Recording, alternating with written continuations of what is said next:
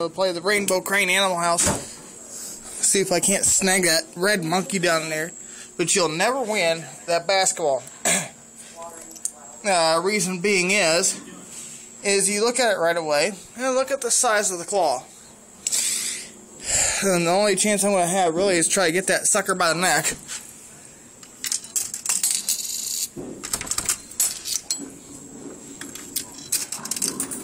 I don't think this thing's working very well because of the how the coin mech is. Let's uh, twist this claw. I'm gonna try and get that red monkey down in here by the head this time. Cause it couldn't tell what it did, but let's try right about there. There we go. Got him.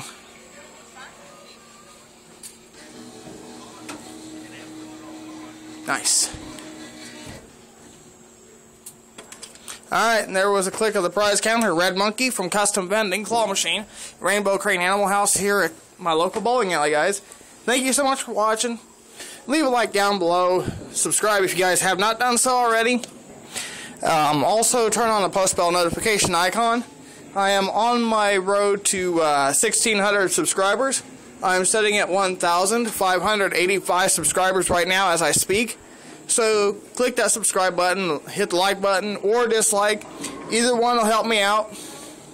Um, I would still like to see more likes than dislikes. I want to see my uh, channel continue to grow, and I'm hoping to reach the 2,000 subscriber mark before the end of this year, if not the start of next year. So either way, my goal is to hit 2,000 subscribers.